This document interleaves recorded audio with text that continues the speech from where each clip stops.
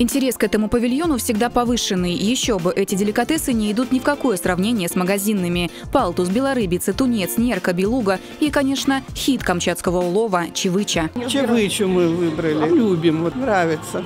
Полезная для здоровья, помогает И как-то? для здоровья, и настроение хорошее, поднимает силы наши. Рыба вяленая, слабосоленая, холодного и горячего копчения, в тушках и стейках, ароматная, сочная, аппетитная. Уйти без покупки просто невозможно.